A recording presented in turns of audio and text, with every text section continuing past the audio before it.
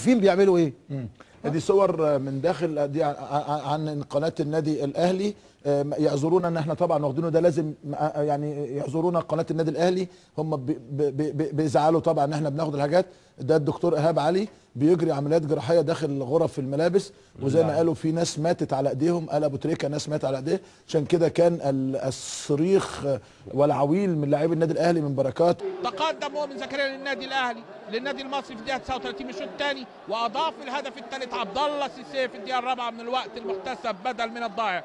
كده يرتفع رصيد النادي المصري إلى 26 واحدة عبد الله سيسي آه، عبد الله سيسي تاني يعني أسامة عزب كلها تقريبا م- مليانة خطورة وآخرها لعبة محمود عبد الحكيم العرضية وعبد السلام نجاح بضربة رأس أنقذها شريف إكرامي من داخل المرمى ببراعة.